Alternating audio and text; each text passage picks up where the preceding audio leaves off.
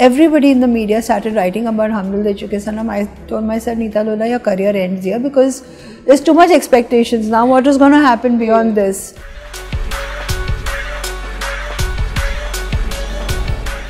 Hi, this is Neeta Lulla, and you can catch me on midday.com. Stay tuned.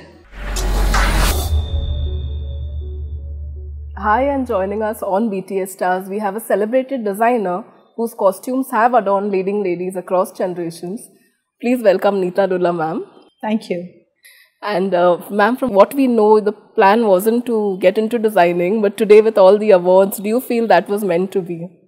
I definitely think it was meant to be because uh, as a, a, youngster, I never fathomed that I would do a course in fashion design and I would teach fashion design and I would get into um, bridal wear and then films and you know, it was uh, amazing and unreal. The whole experience has been surreal and uh, I think, uh, yeah, sure, it was meant to be. And uh, you started out with icons like Sridevi, Juhi Chawla, and all the other uh, popular leading ladies of the 90s. So, how did you uh, settle in and understand their style when you were a newcomer? Uh, I think my background of fashion is what helped me uh, kind of understanding the entire process of figure types, of understanding color combinations. And somewhere I feel um, Sridevi had a great part to play in my understanding of colors because uh, um, in those days you never had a Pantone shade card, you never had uh, Pinterest or any digital medium to kind of uh, understand colors. But uh, um, the way she would uh, explain colors to me, sometimes out of a fresh green leaf, which uh, which was either lying uh, somewhere or a fruit uh, which was uh, lying next to her, you know, and it was a very specific thing. Like if it was a peach, the the uh, top portion of a peach, the color that is the color. Um, it was it was an amazing way that she explained colors to me. There is a funny anecdote that I must mention on this note, uh, which has kind of uh, resonated with me my entire life, and that is about uh, the fact that no two two white colors are the same you know and uh, uh, there was an outfit in which i was supposed to make it an entire white. Post chandni there was a show that she was doing and we wanted to recreate the white tandav outfit i used uh, uh, a white synthetic lycra and i used pure white fabric and i used white sequins and all the three white colors were different and i didn't even think about it until later that she explained to me that, you know, the whites have to be the same, otherwise they create a completely different format of color that you see visually on, on uh, camera. And that has kind of resonated with me my entire life where um, whites and blacks is something that I'm very careful when making. And uh, yeah, uh, apart from the background of fashion and my foray into fashion choreography, actually, I wanted to always become a fashion choreographer, is also another thing that helped me uh, to where I am today in understanding figures and understanding visually what an outfit will look like.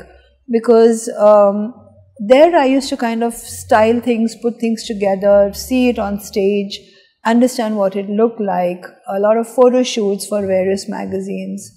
I think everything that I've done um, from the time I've been a student has been a learning experience. And especially during the 90s, like you said, there were no references, no Instagram, and you know, you really had to go on field and find uh, yes. your stuff. So, any memories of that, like where you had to go out of your way and actually create something?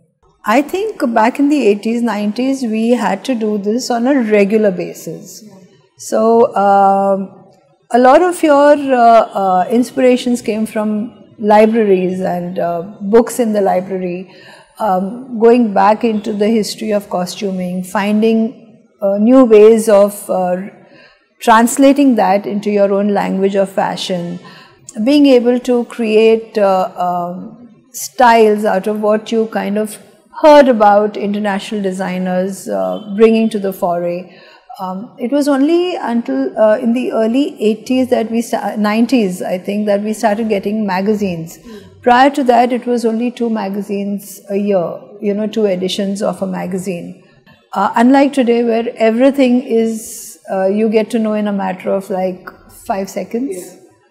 Um, when the show is going on, you're seeing it live. So that's I think uh, where uh, it kind of um, you know uh, titillated your senses of creativity. It kind of uh, um, brought you to think and wonder and bring to the forefront your imagination about uh, an outfit or creative garment. And uh, another actress you've had a long association with is Aishwarya Rai. And I think Hum Dil Chuke Sanam is unforgettable. Of course, the costumes and it had become a style trend and people still follow that during Navratri. So, if you could share some memories of that. So, I think that is the first time uh, media started taking note of costumes in the industry, and uh, it was such a such an amazing experience and such an amazing awareness of costumes that you know when everybody in the media started writing about Dil Sanam, I told myself, Neeta Lulla, your career ends here because there's too much expectations now. What is going to happen beyond this? But uh, for me, life has uh, transcended into every film being uh, one better than the other, a platform where uh, I've had to kind of bring my best foot forward every time. And uh, having said so, I feel that uh, Hum was an experience that was absolutely wonderful. Creating those costumes, was just a process. It was not something that we had decided ki yeah we'll go through this journey and uh, uh, you know this is going to be recognized. It was never that. Um, going to Bhuj, understanding how the ladies wore their outfits, um, understanding what the urban Gujarati lady thought about you know the kind of costumes that they were. We actually went and we spoke to the ladies there. We stayed there. Um, the entire team of uh, technicians with Sanjay Bhansali stayed there for about a week and uh, sourced our fabrics and uh, whatever we needed to at that point in time. And that's how I think Hum Dil came about. And that was a journey that uh, started this entire process of uh, awareness that was also a time where you know the designers were of course very involved. So were you on set as well and any of those memories if possible? So i'm always on set and even at that point in time i was definitely on set. When a new outfit is being uh, um, a new look is being done or a song is being done and uh, you know have seeing that everything is perfectly in place. And that was a time that um, in Hum Dil, actually, I, I did the scope for all the women in, in, the, in the film. And uh, seeing that each and every one had a color coordinated sensibility that was not overlapping onto the other person's colors. So there was a lot of detailing that goes into film uh, uh, costuming. Thus, uh, as a designer, as a technician, one needs to be part of uh, the process of a song, a new look, and one needs to be there for sure. And that was a time uh, when we, for the first time, had like two assistants on set. Okay. You know, vis-a-vis today it's a norm, and that was uh, the first time we had like an, two assistants who were there. And then, of course, we have to mention Devdas, another iconic film. The costumes are still remembered. So, anything from there that you remember really that stands out for you? Uh, Devdas I could write a book on. I think each and every aspect of the journey was iconic. Each and every um, thought process, from the ideating process with Sanjay uh, and the team to actually sourcing of fabrics. Um, I was given a, a go ahead on uh, with something that I liked in terms of the kind of creative aspect that I wanted to bring into it, and that is, um, you know, we saw the previous Devdas films in Pune. We went to the, the Pune Institute and we watched the films. All, the, all of us technicians were taken to Pune. Once we saw the films, uh, I remember Sanjay saying, um, you saw the style statement in the films, right? I said, yeah. So we need to recreate this. He said, no, we need to recreate larger than life. And that was it. It was like giving you the reins to just shoot forward. Knowing that, you know, um, Bengali saris are like uh, sade panch var. I wanted to bring about a magnanimity, and that was the one word that was in my mind because that is what Sanjay wanted as a vision, which was in my mind. And I said, uh, why can't Bengali saris be 10 yards and 12 yards? And um, the process was cumbersome. So, uh, how is it that one would um, kind of have this made easy to wear? So, I pre-stitched all the saris and uh, the saris are like 12 meters and more in yeah. the film. Um, in fact, uh, uh, the Dola Re song has about 18 meters of fabric. You can't see it, you know, you, you can't gauge that. I think that was a journey which uh, was absolutely, it was like finding your creative self, finding your uh, talent in draping, I would say, because all the 21 saris were pre stitched and pre-draped uh, today's so-called concept sarees. So yeah, that is uh, what it is.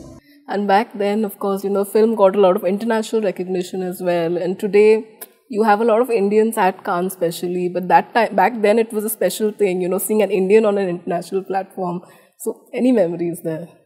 For Aishwarya and Shahrukh to go to uh, premiere the film at Cannes was like, okay, this is another film festival they're going for, so we need to get the clothes ready. That's about it. Mm. When they went there, the kind of response that they got was absolutely unreal. And I guess that that put the step forward for a lot of celebs today going to Cannes. True, that's true. And uh, among the newer generation, you have recently worked with Kangana, and then of course there's Samantha as well. So if you'd like to tell us about uh, working with them as well and the costumes. I absolutely love and enjoy working with Kangana because uh, she is she is a technician's muse. Someone who will translate your look very aptly, very hardworking actor, very trusting of your sensibilities and that actually as a technician makes you um, kind of uh, uh, want to not only put your best foot forward but uh, work on the garments like an exam because uh, here's an actor who will not say anything to you. Just wear the clothes in all honesty and all integrity uh, respecting the fact that you've made and designed something. And even accept and appreciate it on set and personally so it's an absolute delight working with her, and uh, I have yet to come across an actor who trusts you so much.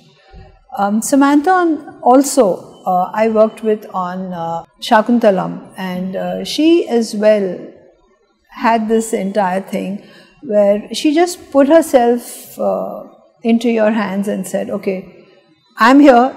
Do what you need to do, and uh, just make me look the best."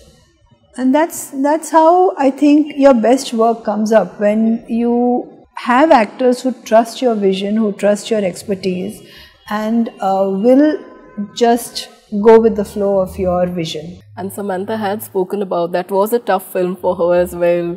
Uh, so did you all kind of discuss that, the, like you know how, like if she had any additions as well, any inputs?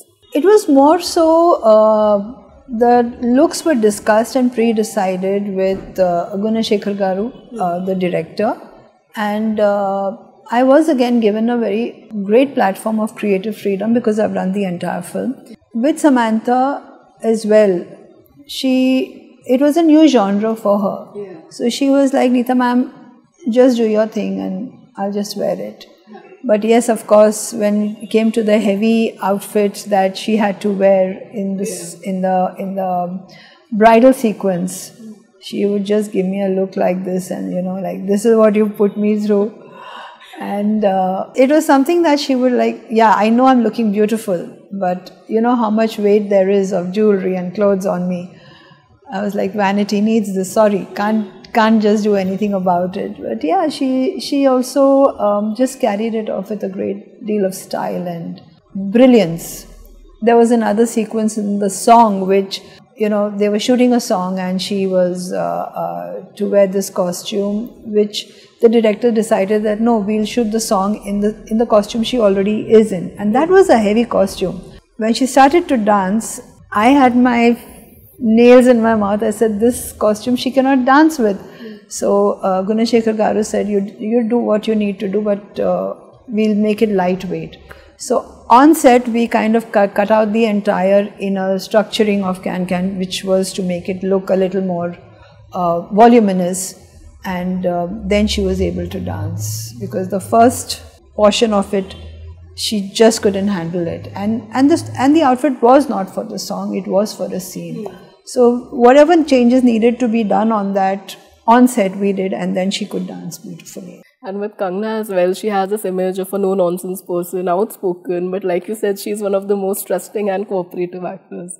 So I think that's quite a revelation also. So if you'd like to add something about her as well for if uh, uh, she sees that you know you are you know your job and you know your techniques and um, it relates to her sensibilities, then she is absolutely very trusting. I mean, I have yet to come across her having asked me during the making of Manikarnika, Neeta ma'am, what am I wearing for my next scene? That never came from her. In fact, I asked her also. I said, don't you want to know what you're wearing for the next scene? And she was like, why should I want to know? You are doing it. You're making me look good, so it's okay. That's amazing, yeah. And another actor who you've really seen evolve is Priyanka Chopra as well. You know, you've known her from her starting out days, and today, of course, she's this international icon. So, how would you see her journey from someone who knows her from before? Um, I think Priyanka's journey has been absolutely exceptional. I think uh, from the time that I know her is when her foray into Miss World happened. Ever since that uh, to today, I mean, she's been a woman who holds her strength, you know, and she speaks volumes about that strength. In fact, I am so amazed at, uh, uh you know, that phrase that she mentioned on one of her shows about haters gonna hate, potatoes gonna potate, roti's gonna rotate. I, I think it resonates with a lot of people in a lot of profiles of jobs. And um, she has uh, come up the hard way. She has worked hard for whatever she does. And I see that effort transcending even today. If you see uh, her uh, new series uh, as well, she is um, the same kind of effort from the beginning that I worked with her in films to today, I see the same transcend into her work. So there is a consistency of uh, um, the magnitude of effort that goes into playing whatever uh, she is doing, and uh, that brings about exceptionality. Yeah, and we are nearing the bridal season, so of course you are known for your Indian wear. So we have to ask you what to expect this season. I think a multitude of things, you know, because the bride is no longer looking for that basic red lehenga. Mm. The bride is looking for something different. And when I say different, there's a whole plethora of difference that comes out. Um, there is Indo-Western fusion, there's Western, there's classic, there's reds, there's hot pinks, there's larger than life magnitude of bridal wear. Um, there are various functions in the bridal season that uh, brides are looking for clothes for. But the one thing that remains constant, I feel, you know, whether fashions change and fashions are uh, constant on a certain platform, is the fact that the bride wants something different, something that she can resonate with through life, something that she can keep for posterity and even wear it. And that's what here, what we do is we work absolutely on a bespoke manner, whereby we have a very intense consultation with the bride, and depending on her structure, her carriage, her requirement, her job profile, her um, socio-economic background, uh, we kind of design a couture garment that she can wear, she can cherish, and she can pass it down to you know generations to come. So I guess that's uh, that has remained constant. And as a designer, for me, I think the biggest blessing and the biggest accolade is the fact that you know I might meet a bride who I've dressed 20 years back. I might not even remember the face, But they come and say, Neeta ma'am, you remember you made my outfit and I still wear it and it still looks good and it still shines as new. And that's something that you, I think is a blessing when, you know, you get these kind of uh, compliments and that's an accolade in itself. True. But post the pandemic, have you seen any changes in what the brides expect? Post the pandemic, I think uh, what's really happened is that because of the awareness on digital medium, there has been a lot of awareness for brides, their families, and everybody. So the uh, the concept of looking at a wider range of designers, looking at a wider range of clothes, has become very prominent. Of course, the disparity of uh, uh you know a high street lehenga to a designer lehenga where the price points uh, are not taken into consideration have happened. But i guess this is the pros and cons of uh, uh, you know understanding that there is so much availability. But i've i've realized that those who uh, are looking for that finish and that comfort and something that's unique will definitely um, come and ask for it so you are in a in a in a race that you need to understand and you need to uh, go with the flow of it. And that's what has happened pro post uh, covid pandemic. Yeah and especially with stylists coming in. So do you feel that you know has kind of changed? Because they are now the medium between the actors and the designers unlike before. Films i don't think that is the case but yes red carpet dressing definitely it is. And uh, before the designer was the stylist and uh, you know the the designer the costumier as well. So uh, in a holistic way today there is a stylist um, but i don't think that much uh, um, of a change in terms of uh, there is a profile that has come and transcended in between uh, you as a designer and and the actor yeah, there are different profiles that are coming up, and one needs to be happy that there is more specialization coming up. And especially since you are known for your work for women, but not many people know that you style men as well, you design for men as well. So, uh, if you'd like to tell us about that as well.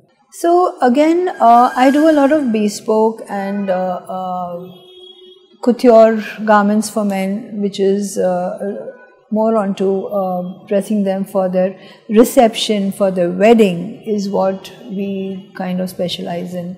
So tuxedos or um, different kind of larger than life sherwanis.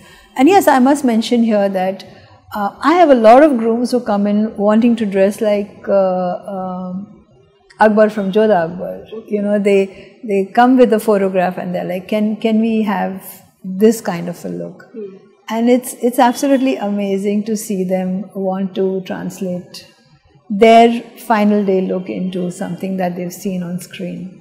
And you are nearing 400 films. So if you'd like to ask i know it's difficult to choose but if you could just the most memorable ones that on the top of your mind. No don't put me through this because i have no answer to this ever ever. Like i said to you initially it has been an ever evolving process and every time I thought that, you know, this was the best film and that's it.